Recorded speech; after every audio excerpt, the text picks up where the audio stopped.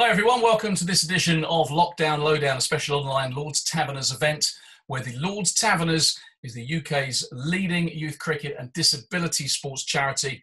I'm proud to be a supporter of this great organisation. We're laying the foundations for a positive future by building inclusive communities, breaking down barriers, and empowering disadvantaged and disabled young people to fulfil their potential. We provide a lifeline for some of the most at risk communities in the UK and tackle issues such as knife crime, unemployment, radicalisation, and also isolation. Something we are all feeling right now, of course. But without our programs, many of our participants would experience this all year round. For those of you who don't know me, my name is David Fulton, and tonight, this uh, Lockdown Lowdown series, we are joined by Kent and England's Joe Denly. Joe, a very good evening to you. How is lockdown been?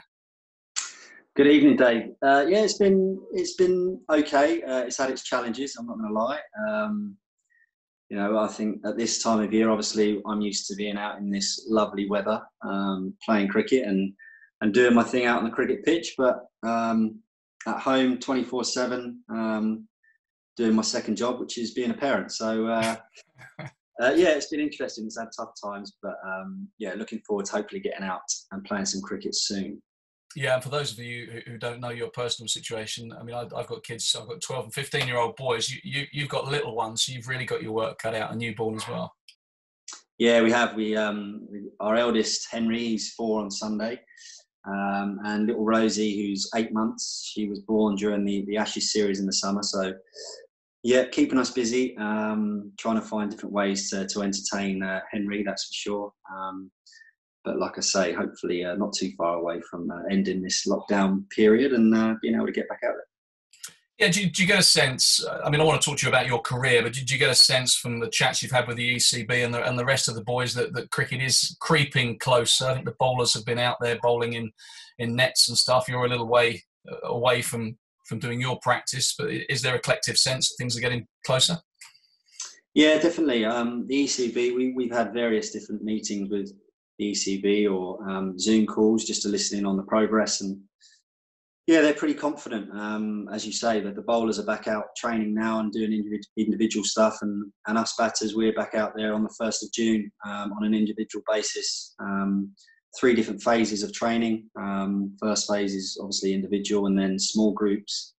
Uh, and then back together as a squad, hopefully around the 22nd of June, um, in preparation for the West Indies on the 8th. So all looking very promising at the minute, and yeah, very excited about the uh, the uh, opportunity to get back out there. Have you been able to to keep yourself in reasonable nick? I've seen Ben Stokes has been bowling into his garage. I saw yesterday on social media he was throwing balls at the house, missing his windows by a, a matter of feet. I can't believe that Stacey Denly would want you throwing balls at your house. No, I've um, I haven't been doing too much cricket activity. Uh, I've tried a little bit with Henry, um, but his throwdowns don't quite, um, yeah, aren't quite, don't reach the level that I, would like. That is for sure. Um, so no, keeping myself pretty fit. We've got our uh, gym programs and fitness programs that um, we've been sent through, so that's keeping us uh, nice and fit and um, yeah, certainly ready to pick up a bat and, and get the cricket skills going again.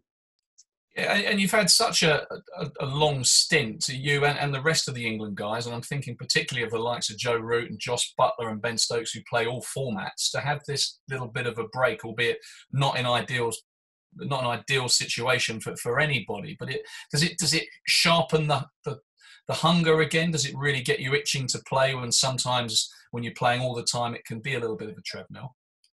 Yeah, I, am certainly as I've as I've got older and um, yeah, my, my career's progressed. I think that that downtime is is really important, um, just to refresh and I suppose refocus, give you time to reflect um, on um, on the busy periods that you've had.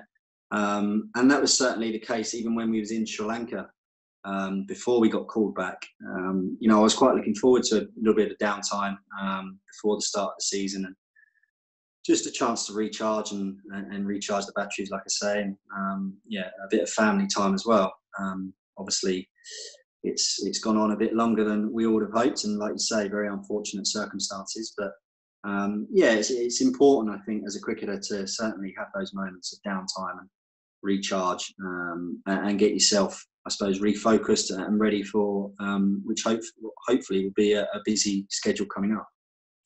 Right, let's um, let's go back in time for the, those who uh, who don't know the kind of Joe Denley story. It's been a little bit of a roller coaster, which is a, a much used cliche. But you started way back with a, a father who was a, very decent cricketer and an older brother, which is I've been reading this week actually a bit of a theme. Younger siblings uh, seem to benefit from from having the old older brother around, and I would imagine there was a bit of needle between between you and uh, Sam back in the day. Tell us about your, your early cricketing experiences. Yeah, there was always that competitiveness, certainly within the household. Um, obviously, my, my, older brother Sam, he's only a couple of years older than me, and sport mad as well. It was always football and cricket growing up. Um, always going down to our local club at Whitstable and, and watching my dad play at the weekend and, and, bowling and batting against each other in the nets. Um, where we lived, we had a, a, nice little alleyway down the side of our house um, that made a, a, pretty good cricket wicket. Um, and we had some very competitive games uh, down that alleyway, that is for sure. And um, yeah, certainly sparked um, a real competitiveness early on, um, from an early age, should I say. And yeah, that, that, that's never really left us. so yeah. at what age did you become better than your brother? um, good question. Um, Sam was always a pretty good cricketer, to be fair. He played all the Kent age groups, captained Kent age groups, but he um, he also had a passion for um, partying um, and, and the recreational scene. Um, whereas I was always very driven and focused on cricket and, and really trying to make it uh, a career for myself. And um, I think probably through our latter teen years, Sam sort of went on the decline, and I sort of overtook him uh, around those those kind of those kind of years. And then, of course, you would because uh, our paths first crossed when I, I was at Kent, and you uh, you you've been flagged up as someone to kind of watch. I reckon maybe about 15, 16, were you about that time when uh, some I think it was Christopher Chris Stone at Kent decided that uh, I needed to kind of mentor you. I think was the was so it was basically he said I'd like you to fast track him and so he can avoid all the mistakes that you made along the way. If we can do that, we might we might have a player there. So that was the kind of the, the, the premise of it. Um, and it wasn't long before you were in the team. And then this old fellow was looking over his shoulder, thinking, "Might have done too good a job here because uh, this guy's going to come past me as well." So I retired you were suddenly op- opening the batting for Kent on a regular basis, and at that point, everything seemed to be going incredibly smoothly. Yeah, it did. I, I suppose, like you say, from a, a, youngish age, I was, I suppose, tipped to to go on and, and hopefully represent Kent. And, and, like you say, my my first encounter with with you was um, that mentoring scheme, um, a great initiative by Kent and Chris Stone, like you mentioned.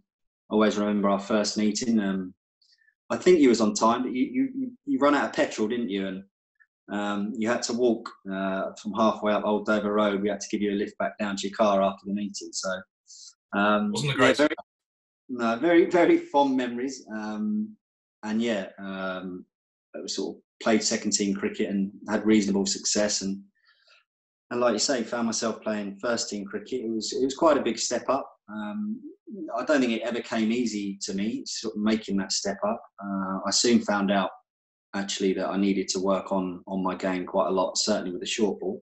Um, I got hit in the helmet, in the gloves, um, quite a lot uh, in my first few few matches, and um, that's that winter I went away to Australia on my own and, and spent the whole winter um, really trying to improve my game on the short ball um, a great place to go and do that. I went with the fast, fast wickets.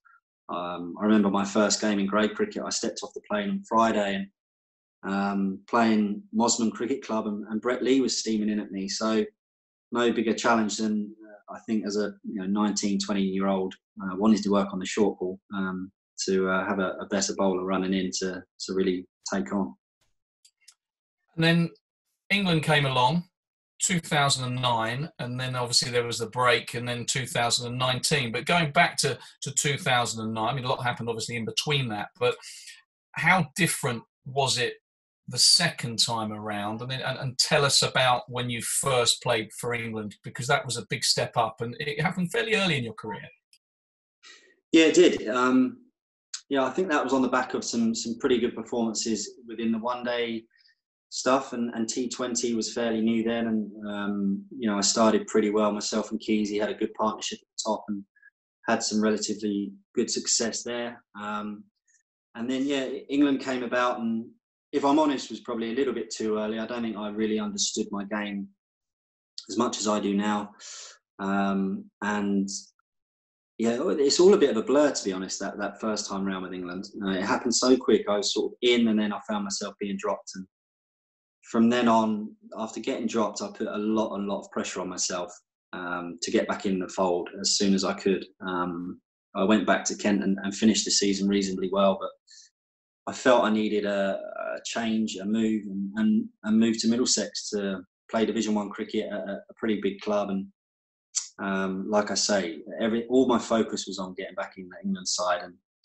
um, you know, therefore my, my performances suffered and, and, heaped too much pressure on myself, and uh, found myself playing second team cricket at Middlesex not really enjoying it too much. Um, England was far, far away. Um, and and yeah, luckily uh, I got a call from my good friend Rob Key to, to come back to Kent. Um, and here we are today, pretty much. Those England experiences, I mean, some pretty big characters as a, as a young man from a little kind of seaside place in Kent to suddenly be rubbing shoulders with the likes of Graeme Swann and, and, and Kevin Pietersen.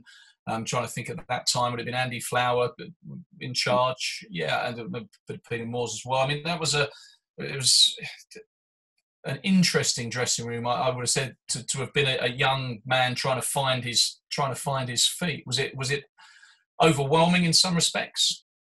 Yeah, yeah, probably. Um, you know, for me, I think at that age, I was still trying to find my feet in, in the first class game in, in the Kent dressing room. To be honest, um, you know, I was I was starting to certainly feel more comfortable within, you know, uh, Kent's dressing room, and and I suppose becoming more confident in my ability um, to play first class cricket. And then all of a sudden, I find myself in that England dressing room, dressing room with, like you say, the characters, you know, Kevin Pietersen, Andy Flower as coach, Graeme Swann, guys that I've looked up to um, and watched um, and play some amazing cricket for England. And I'm in the same change room. And I always felt like you know, I didn't really deserve to be there, uh, if I'm honest. And like I say, it was probably a little bit too early, and I don't think I actually um, had the the belief within my own game that I could probably, you know, live up to the likes of Kevin Pietersen and Andrew Strauss's of, of this world. And um, yeah, therefore, I don't think I, my performances quite did myself justice. Second time around, did it come? I mean, you, you, you, went back to Kent. You suddenly started scoring a lot of runs, particularly again in, in white ball cricket. But your championship form was, was was excellent. And then it was that second string to your bow. I always felt. Correct me if wrong. That almost got you that nod in Sri Lanka because it was a, a place that that spun, and the fact you'd worked on your leg spin, ironically, which had always been a very much a you know a, a bit part. You've been a bit part yeah. spin how significant was that? And, perhaps people watching this, and maybe kids watching this, thinking, you know, actually that second string to the bow, um, you never know just how important that might be down the line. Yeah, massive, uh, a massive part, I think, of my, um, I suppose, re-inclusion into the England side was was having that. Um, you know, when when I first went back to Kent, my focus was was never about playing for England. Um, you know that had gone, uh, in my opinion. It was just about enjoy, enjoying my cricket and um, and just trying to do well for Kent, trying to score as many runs as I could. And, uh, and yeah, I think you know to to give them credit, uh, Matt Walker and, and Sam Bilbo, um, Sam Billings, um, you know, obviously rated my leg spin a little bit more than what Rob Key did. Um, and they gave me a, an opportunity to, to open the bowling in, in T20 cricket um, and used me quite a bit in, in the one day game as well. Um, and, and, the confidence grew certainly within my bowling um, and, and obviously opening the batting as well. So to be able to do, I suppose, both um, facets of the game um, in white ball cricket was a huge bonus and, and a, a, massive part of, of my inclusion in the England squad was obviously that attracted them as well. So yeah, I think you're right. Having that that second string to your bow you know, for me, it's been invaluable um, and, and a big part of, of me being involved with England again. Um, so, yeah, very, very happy that I, I've continued to work hard on it. And how different were you and how different was it for you when you walked back into that England dressing room some 10 years after the kind of first stint in the sense that, you know, how did they welcome you and did you go in there that much older and wiser and more relaxed in your, your own skin? Yeah, and, and a lot more, I suppose, confident and a lot more belief within my own game. I think the the lows that I had at Middlesex, um, and and I suppose learning from mistakes that I'd made, um, not so much from a, a, technical point of view. I think just the way I put pressure on myself uh, and almost, you know, thought about things that were completely out of my control. Um, I suppose having a much better understanding of of what works for me and and having a real focus on on all the positive stuff that will help me be a better player um, whether that be in my preparation leading up to games having a good understanding of of the opposition that I'm coming up against. Um, so I think I certainly became a lot better player for having those those those bad that bad spell like I said playing second team cricket and, and then coming back to Kent. Um, and yeah, my performances were, were pretty good leading up to re-inclusion into the, the England side. I won the 2018 MVP, which was obviously amazing, uh, and on the back of that, um, selected for England again. Um, and yeah, I, I, walked into that changing room as certainly a more confident player, and um, I must say, a great changing room to walk into as well. Um, a real good bunch of lads um, that I played a lot of cricket against, um, and and you could see it's just uh, a real family feel within the, the, dressing room, genuine friends playing together, um, and a real good, real good place to be. Um, and I, I love being part of that that squad at the minute. And it was good timing in the sense that you were in the team in the winter, and there was a pretty big summer for, for English cricket coming up with a with a World Cup immediately followed by an Ashes. But then there was that kind of jostling for position this time last year, wasn't it? Or maybe a, maybe 13 months ago where there was there was games against Ireland, there were games against Pakistan, and that World Cup squad trying to take shape. And the one day team was very tough to break into. Did, did you sense you were always likely to miss out as, as, as, happened, or did, did you think you know I just I needed an opportunity at the top just to show what I can do? How how was that whole process? Yeah, um, it was interesting. It was it was a position I never thought I'd be in. Um, if I'm honest, if you went back a year or so ago, to be con- in contention to, to get a World Cup squad, um, you know, those group of players have been together for a long time. And, um, you know, obviously it was fantastic to be involved um, in that Ireland and, and, Pakistan series. And I suppose in the back of my mind, I would have loved to have been selected um, in that World Cup squad, obviously. Um, certainly, certainly now knowing that they won it. but no, I, I, think ultimately the the correct decision was made. Um, you know, I was almost in that squad as a third spinner, uh, a bat and, and, sort of batting at number seven or eight if I was to play. Um, so I, I, think you know to to include Liam Dawson um, in that squad ahead of myself as that backup spinner was the right decision. He's a he's a you know he's a, a spinning all rounder if you like. So um, yeah, there was no um, bitterness from me. I think it was certainly the right decision. Um, I would have liked an opportunity to to showcase my skills a bit higher up in the order and, and maybe get that opportunity to go into that World Cup as a, as a backup batter um, at the top of the order. But um, you know, ultimately, uh, I was very fortunate to be involved and, and loved every minute of it. And um, in a way, it was um, a bit of a godsend, really, because it gave me an opportunity to go back to Kent play some four day cricket and, and put my name in the hat for the Ashes series, um, which, to be honest, was, was always a dream of mine growing up, more so than being involved in a World Cup squad. Um, you know, watching all these great Ashes battles of the past. Um, so that was, um, like I say, a bit of a, a godsend and, and, managed to go back and score some runs with Kent and found myself playing in an Ashes series in England.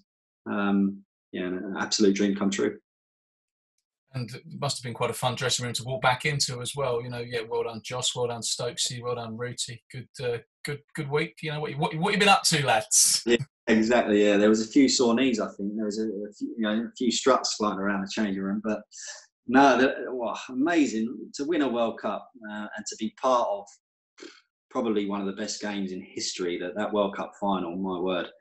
Um, yeah, I felt for them a little bit to be honest. They on the back of winning the World Cup, we then had a, a four-day Test match against Ireland at Lords. A few days later, so they didn't really have time to celebrate and, and, and do all the, the things that they probably would have liked to do. Um, they were straight back at it, playing uh, in a in a four-day Test against Ireland at Lords. So um, yeah, felt for them a little bit.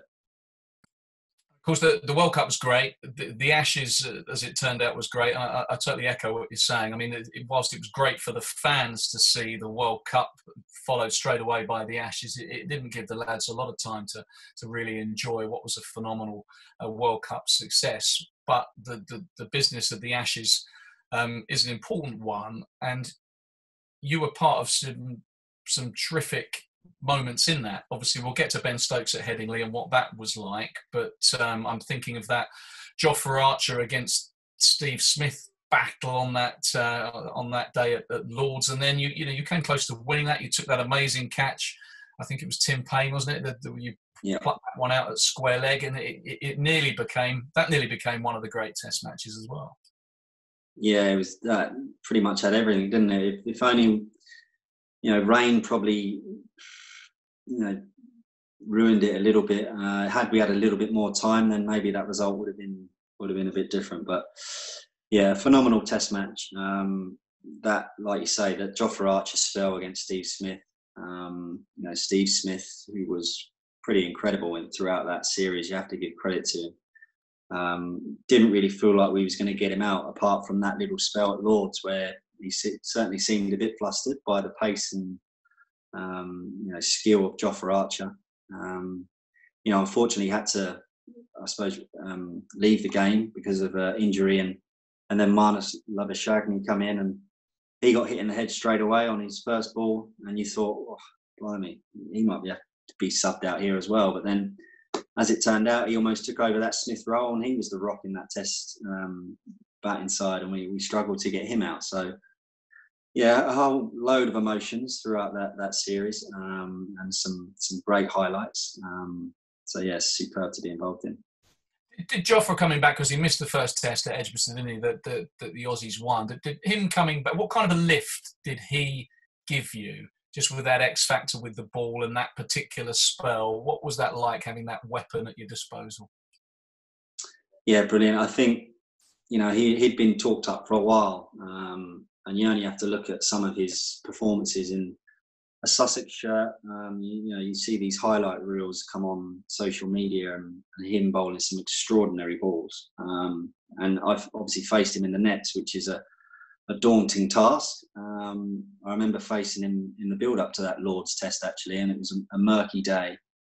And I think uh, Jason Roy was facing him before me, and I, I don't like to laugh when other people uh, suffering in the nets. But Jace was having a bit of a stinking time. Um, Jofra was tormenting him, and then it was my turn to go in, and I nearly sort of said to the coach, "I'll just have a few throwdowns." Um, you know, the weather's coming in. I'll just get some throws in before it comes. But I went in and faced Jofra, uh, and sure enough, my first ball, sort of, to me, it was just outside. Um, in the, the corridor of, of uncertainty, if you like, and I've left it, and it's just a big booming in swinger, and uh, knocked my uh, middle stump out of the ground. So, um, yeah, he's a he's a phenomenal talent, Joff. Um, ambles up to the crease, you think it's just going to come out military medium, and then it's like a a rocket coming out of his of his hands. Yeah, he's uh, he's great to have in your side.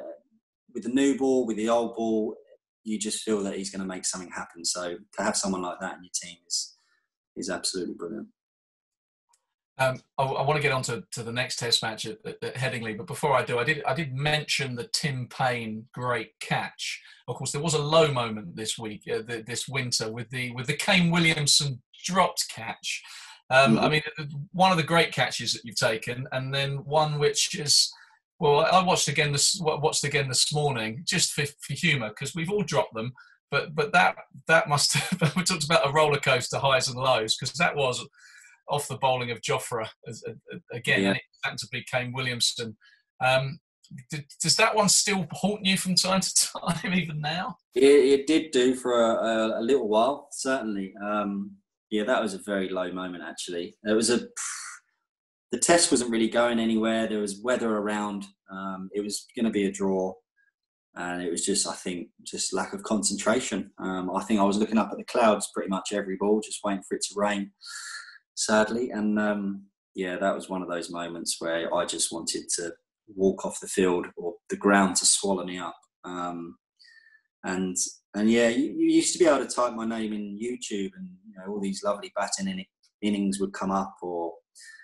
you know good things that I've done. But if you type my name in now, it's Joe Denly, worst drop catch ever. Um, you know, and there's just highlights after highlights of it. So yeah, disappointing.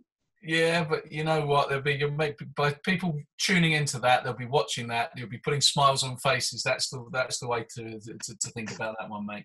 We have all we, we have all been there. Let's go back to Headingley uh, and the uh, the Ben Stokes innings. I mean, yeah, and and you played your part in in that run chase because you batted a lot the, the previous day. Um, and I think, correct me if I'm wrong, Stokes, he would have come out, you would have batted together while he was, was grinding away. You were you were doing your thing at the other end, and it was a real battle but without you putting some miles in the legs of those bowlers, then the, those heroics the, the, following day might not have happened. Who knows? You, you played your part, albeit in a very much a supporting role. What was yeah. that like to play in that match? And what was it like when Ben started to go crazy on that fourth afternoon? Um, a phenomenal game. Um, you know, we had to win that really to stay in the series. And yeah, like you say, myself and Rooty, you know, got us um, got us a, a, pretty good partnership going. Um, and and yeah, it was actually myself that got out for Stokesy uh, late on day four, I think. Um, and uh, he come out and, and that evening he he bat, I think he ended up you know, single figures off about 80 balls. Um, so yeah, we, we, we, we had a good day that day. Uh, put a lot of overs in the bowlers' legs, um, that's for sure. After, after, the end of that day's play, Joe, sorry to interrupt. Did you, did you get a sense? Was there a kind of look in his eyes because he very rarely went out and, and, batted in that fashion where he just yeah. dropped anchor? Was there a sense in the dressing room or a sense from him that you know we we can win this? Was it because it was a very unusual knock for him? Yeah. Uh, I think there was, you know, I don't particularly remember me sensing that, but I think just, you know, looking back of the, the, the kind of summer that he had, you know, the World Cup and everything, um, I suppose when Ben Stokes is at the crease, you've always got a chance, that is for sure. Um, and like you say, it was quite uncharacteristic of him to sort of play that kind of knock that evening. Um, a lot of determination, a lot of patience uh, and, and overs in the in the Australian bowlers' legs, which was you know, probably a, a, key factor in, in them getting tired on that, that day five. And, um, you know what happened on day five was just quite incredible. I've never seen anything like it. Never will. Um, just absolutely phenomenal. Uh, I didn't see a great deal of sort of the climax of the game because I was too nervous. I almost I remember we got six or seven down, and I was just like, "Oh, my first Ashes series is, is done and dusted. Then I'm not I'm not going to be an Ashes winner." Um, you know, I thought we pretty much lost it, and you know, shame on me really. You know, Ben Stokes is still at the crease. We we've always got a chance, and then what unfolded was just quite incredible, really. Did you come out and, and, watch while that was going on? Because I know people get quite superstitious, don't they? Was there a point that you just thought, well, I can't not come and watch this, and you know, hide it away out the back, not looking? Did you did you think this? You hear the roars of the crowd and think, oh, i have got the, one of the best views in the house here. I need to get out there. Um, yeah, I, I'm not normally very superstitious, but I found myself um, locked away in the changing room, pacing around. Uh, with there's a little tiny screen in the in the Headingley changing rooms, and yeah, I was pacing around all the cubicle area, and Rory Burns and uh, Chris Woakes were watching the screen and sort of updating me of what was going on, all the, the loud roars coming from the crowd.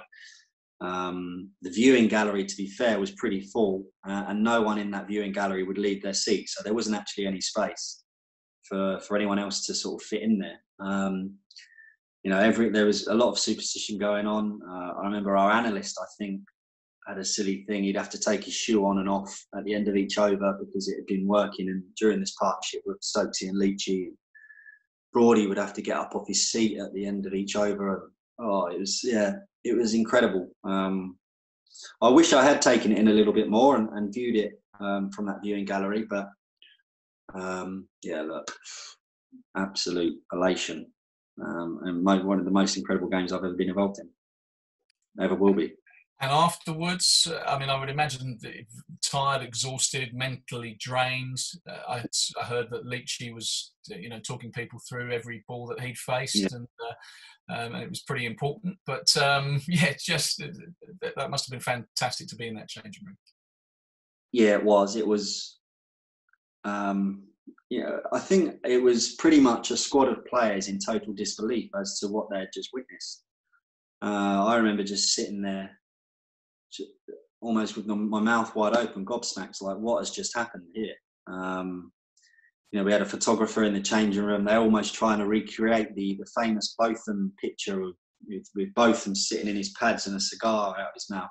You know, Stokesy didn't have a cigar hanging out of his mouth, but all his kit on, just sort of staring into the distance with his uh, England cap on, and photographer clicking away, and you just sit back and just to be part of that was was was so special. Um, and then yeah, you had Leachy in the other corner just saying, "Oh, did you did you see how solid I was?" You know, and uh, it was funny. He had um, he was obviously very nervous, um, wiping his glasses, cleaning his glasses every ball, and you know, he's always uh, asking for advice off Stokesy, and um, all he kept saying to him was just small trigger, small trigger. So that was the thing that got Leachy through was having a small trigger and um, and that superstition of cleaning his glasses every over. So uh, yeah, bless him. And then we all went as a squad. We all went um, and sort of soaked it all up and had a drink out on the on the square, um, and just I suppose. Yeah, like I say, just took it all in, and um, Leachy was actually gave us a, a rendition of that, that famous single he clipped off his leg to get Stokesy back on strike, um, to hit the winning runs. Um, so yeah, very very special day. Um, we, are going to wrap up in, just a second. It's been brilliant talking to you, but but first, obviously, the Ashes was lost at Old Trafford, or the, the series wasn't, but you couldn't regain the Ashes after losing the next Test match. Uh, but the Oval was was an important game for you because you, you probably hadn't scored the right. You, you played some key innings, but the, the big score was still uh, elusive, and, and it was your high score, the 94 in the in the second innings at the at the Oval. Just how significant was that? And the fact that your daughter was born during that test match. I mean, Headingley was special for, for, for Stokes and Leach and an unbelievable win, but the Oval was a special win as well, and you, and you played a key part in that. It was a fantastic week for you. Yeah, it was a great week. Um, yeah, obviously, my daughter being born was incredibly special, um, and having the opportunity to get back and see that. I missed the birth of, of Henry, unfortunately, by about five minutes. So to get back and see that was was brilliant. Um, and and yeah, I think on the back of Old Trafford and, and not being able to regain the Ashes, it was important for us as a team to to at least level the series. I think we deserved that. We it was a fantastic series to be a part of and, and fairly even.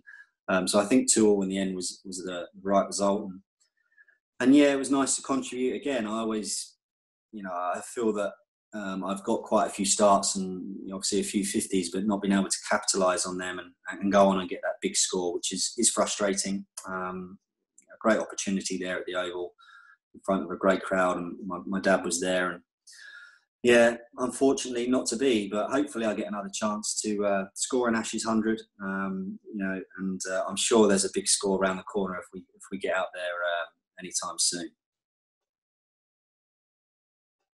Joe, I'm sure. Uh, I'm sure there is. Um, we're desperate to, to get back out there, see you, the rest of the lads in action. Um, thanks ever so much for joining us uh, on this uh, conversation, and uh, yeah, stay safe. Uh, love to the family. That was uh, Joe Denly. And to all you watching, thanks for tuning in to our lockdown lowdown chat. We hope you enjoyed it. And a big thank you for your support of the charity tonight. Just a reminder, we're doing this for the brilliant Lord's Taverners, whose cricket programs are truly life changing for disadvantaged and disabled young people throughout the UK. Just before we go, please take a look at this short film highlighting the charity's impact in the last year. Please watch, stay safe, and enjoy the rest of your evening. Thank you.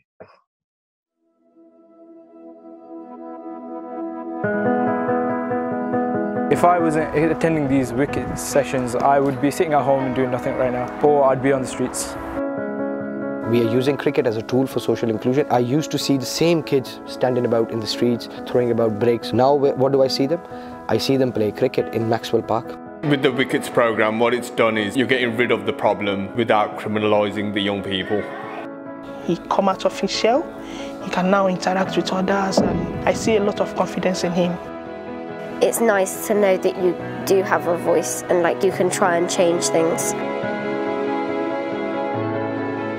We have children here with severe autism. We also have children here with profound and multiple and complex needs. For our kids to see that actually they can be independent, they can get outside the school gates. Without the minibus, we can't do that. All it's given me is the chance to compete in sport, which is something I've always wanted to do and I never really thought I might get the chance to do. It just gives you that concentration and those friends that you can spend time with. Disability sport is amazing at bringing people together. It almost makes you grateful that you've got the disability. Yes! If somebody had said to me two years ago, you will see Riley playing cricket, I have today.